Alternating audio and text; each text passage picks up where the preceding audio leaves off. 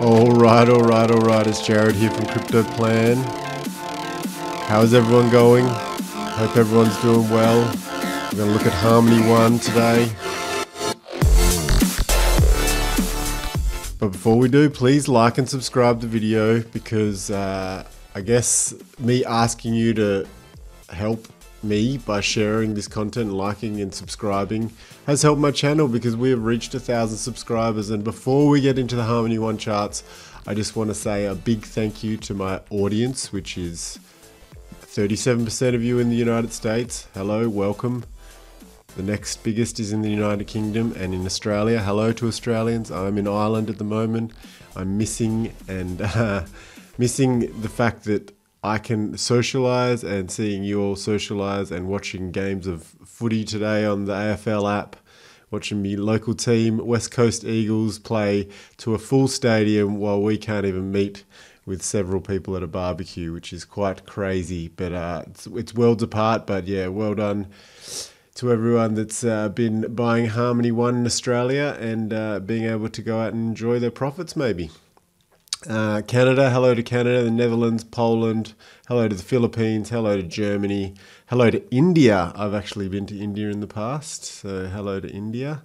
And Ireland, obviously. Glad it's a couple of Irish uh, viewers, considering I'm broadcasting here from Ireland, on the west coast of Ireland, Indonesia, Spain, France. So there's quite a, a spread out uh, cross section of listeners and viewers, even though it's a small sample all the way down there. Singapore, Turkey, Norway, Italy, Romania, Singapore, United Arab Emirates, Switzerland, Nigeria, Russia, South Africa, Austria, Sweden, Thailand, Greece, Mexico, New Zealand, Slovenia, Finland, Vietnam, Pakistan, Portugal, Denmark, Colombia, Czechia, excuse me, I just butchered that name, Croatia, and Saudi Arabia. Thank you all for helping me get to a thousand subscribers.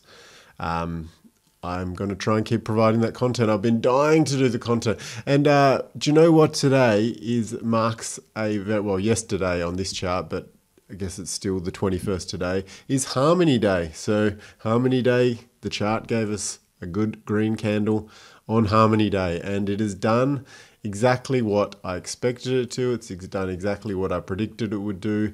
Based on this consolidation, it made a move up to 16 cents, which was like a full extension from that consolidation.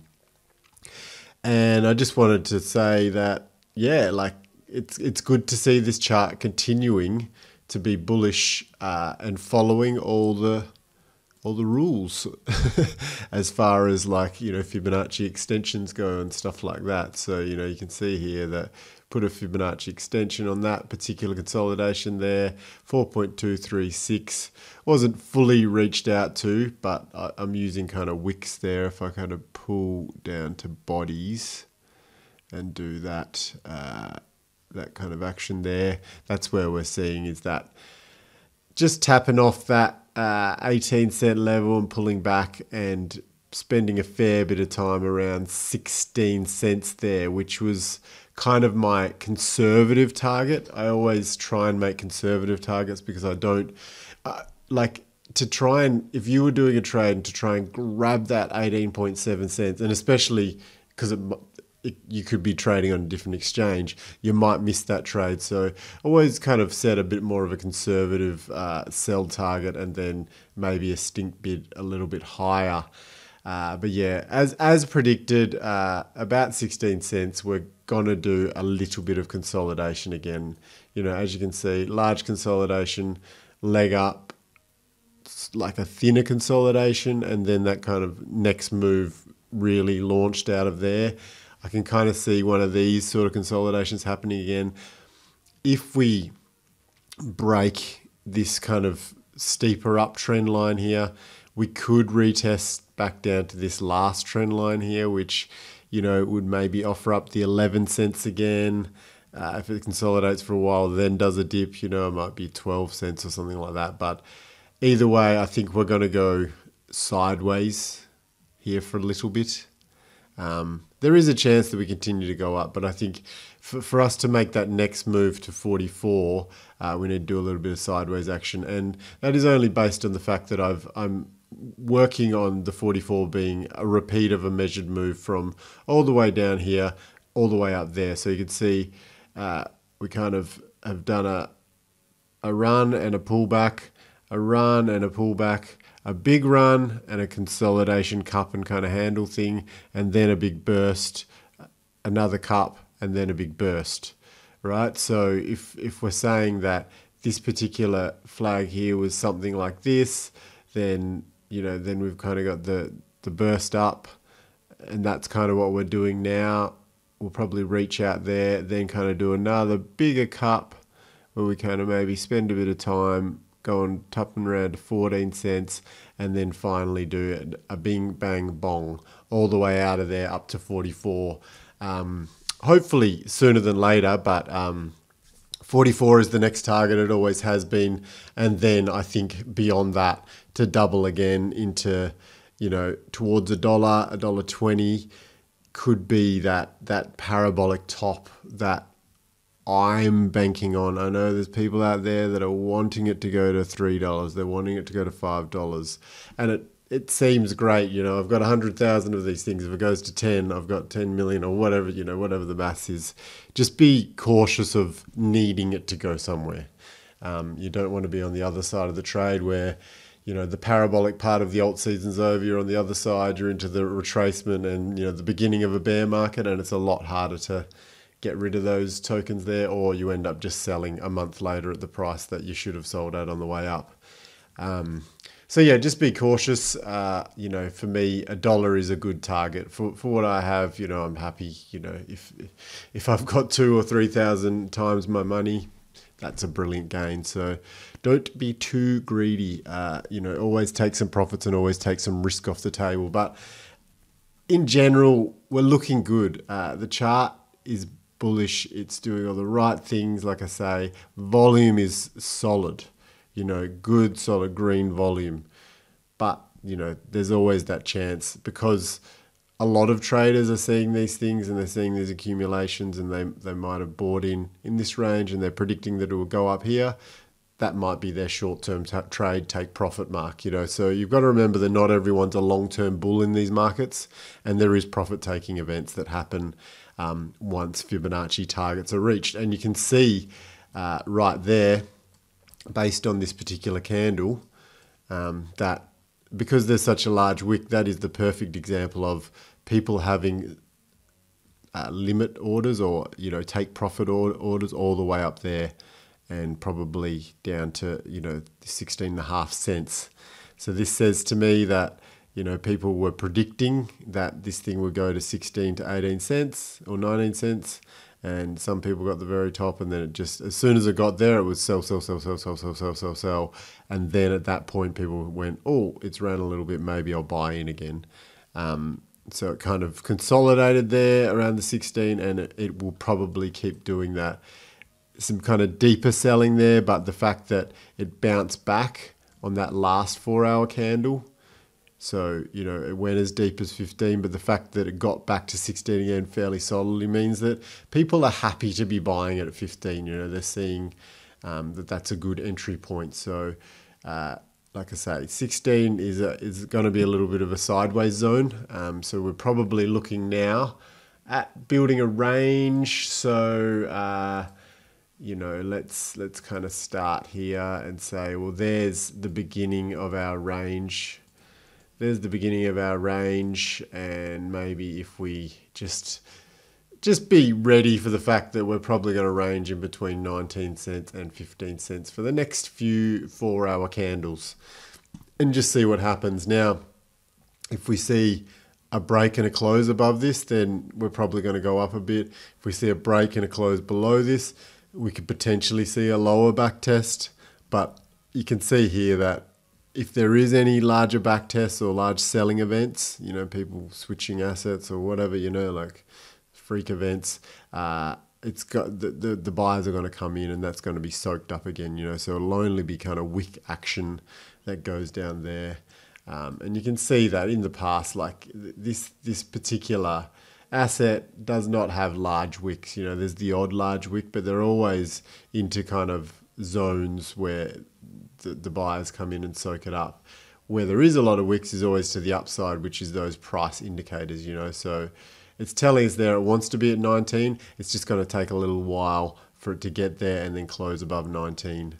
Um, you can see it was the same thing here where big wick to the upside, telling us it wanted to be 5.3 cents. Took a while to kind of roam around here, tried again to get up there, roamed around here, and then it worked its way out of there. So if we base it on this kind of period, uh, what are we looking at? Five days, you know. So we could could spend about five days uh, in this kind of zone, accumulating and maybe doing a little bit of a cup, and then maybe getting up to there, testing, pulling back, and then firing on out there.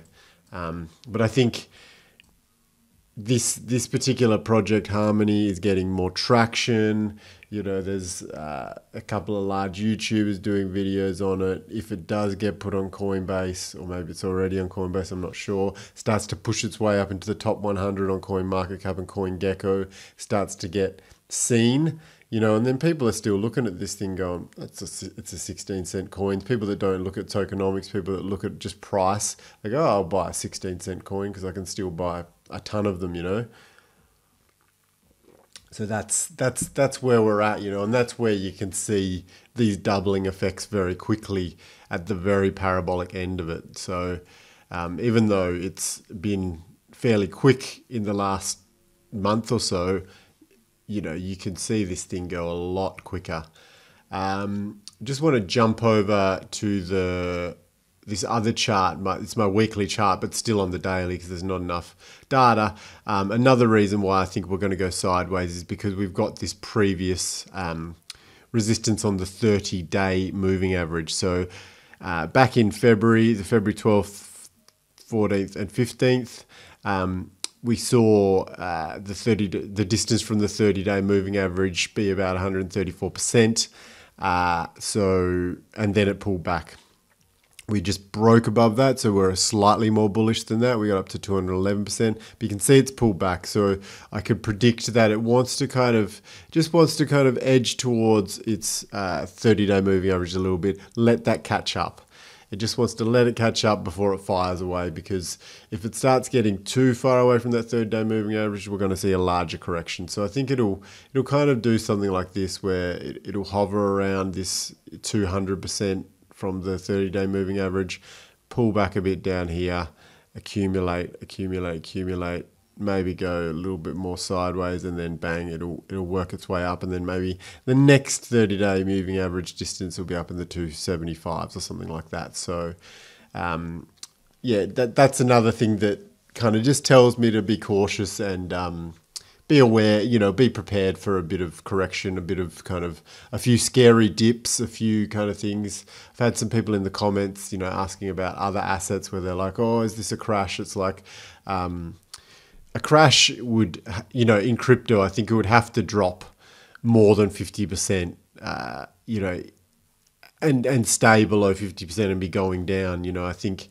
having a, a 50% retracement from a really big move, you know. So if we look at uh, if we look at this kind of price action here and where 50% would take us, um,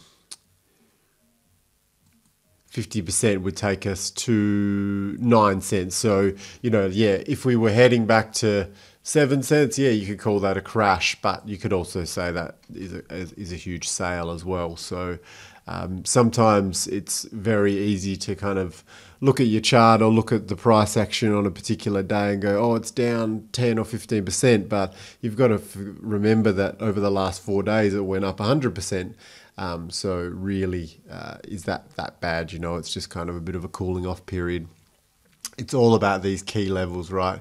If it break, if it broke seven cents, I'd be worried because it's like that's that to me is a key support level. You know, it proved that it built a base there. Then the next level here would be kind of three, three and a half cents. If it broke that, I'd be worried because that was a key uh, resistance and support level on several occasions.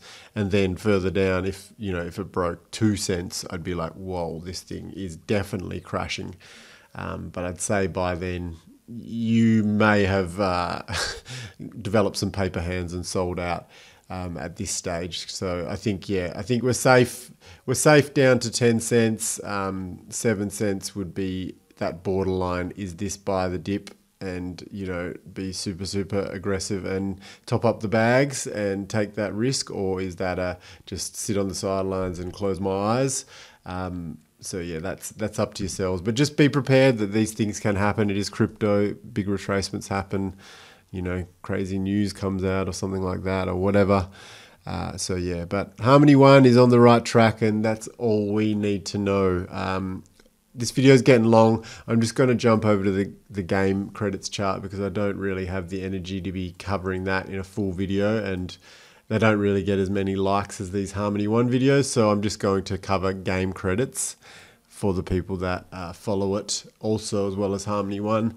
Uh, we have had the perfect breakout of that range, haven't we? Um, I did the video the other day, 16 cents was, or 15 and a half cents was this clear kind of range breakout that I wanted, an attempt there, an attempt there, an attempt there, an attempt there, and then finally we broke out. Once again, you know, you can see thing went up super bullish, 39 cents, pulled back, gives you a little bit of a scare. That was probably just a buy the dip opportunity. Um, goes back up again and is kind of finding some resistance around 35, then bang, breaks out of it straight away. So if we go to the daily um, and we look at the previous day's candle close, and I'll just draw a line on that and see where that's at. Uh, so it's well above any of these this zone, and I think we need to close a day on this chart anyway above 26. So if we close today above 26, 27, that's when we're going to see some larger moves, right? And the beautiful thing is that um, yesterday we closed well above that, and today we are moving on upwards. So as long as uh, we don't see any major correction below 22, and then moving to the weekly chart, the same deal again, maybe pull that up a bit and just say we want to close the week above 27, 28. If we close the week above 28, we're super bullish and we're probably starting to push this 190 level because what what I'm seeing is that this was a huge selling event in the last bear market, um, down to you know from from a dollar ninety down to looks fourteen cents was a huge event, um, and that you know on on the on the exit on the way out of that uh, on the way out of this kind of cup or this bear trend these moves are going to be large, and you can see that there's these large candles after months and years of consolidation of like tight ranges, and then bang. So um, that's why I've kind of got this range here where it could kind of test the top edge of this at any point. The further along, you know, so if it takes, if it's next week it tests there, it's like 97 cents. If it's the week after, it's like a dollar twenty. If it's the week after, it's dollar forty, and then all the way over to the week of first week of June, last week of May. If it tests it, then that's where we're looking at the dollar eighty, dollar ninety level. Uh, so yeah, hopefully we just kind of grind our way up, and we're not too scary where we're tapping up, pulling back, and then tapping up again. That we can just work our way along this trend line, uh, this support trend line over here, rather than kind of tapping on that resistance line up there. So that's game credit, super bullish. I am looking for anywhere between 90 and $1.80 in the next wee while. Volume's good. Um, all the indicators are looking good. Uh, and I guess if we just go over here to our uh, distance from moving average kind of indicator, and we might go to the 30 week moving average just to show you uh, show you how far away. Like if we call that peak there, the the the line in the sand. So we've got a 629% from our 30 week moving average um, at the peak of this particular chart uh, in the mid mid cycle bull run, and then uh, because it, it was it did a second like little dip up.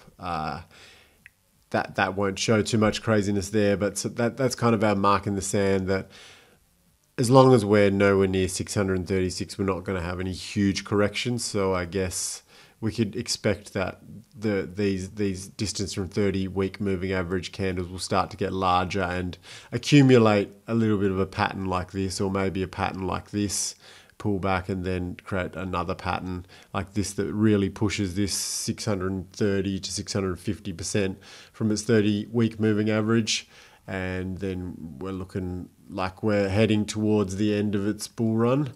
Uh, that's what we want to see.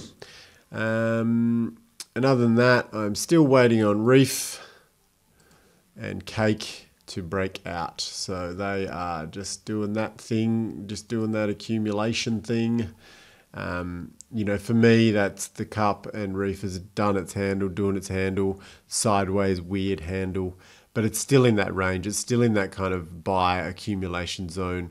And you can see how tight it's getting there. So unless this thing's going to get super bearish and, and tip over on itself and be the only altcoin to go down when everyone other one's going up, there's going to be a large um, push to the upside there uh, when it decides to break out. And the same with cake. I think once again we've got if we go to the daily. Um, we've got one, two, three, four, five, six, seven, seven or so days left before uh, this thing really needs to decide whether it wants to break out of this triangle pattern and become exactly like Hathor Networks did, and you know give us a three hundred percent over a couple of days move, and then you know just get super bullish and keep firing out of there. So, Cake is another one that I'm waiting, to, waiting and watching and hoping that it goes on up that is that. This one's been a bit longer. Once again, thank you so much for listening. Thank you so much for watching. Thank you so much for all the comments. I'm loving the feedback at the moment. And um, thanks again for getting us to a thousand subscribers. It means so much to me. Uh, and I hope to keep providing a lot more videos of this price action to you over the coming month months. Bye for now. I've been Jared from Crypto Plants. See you later.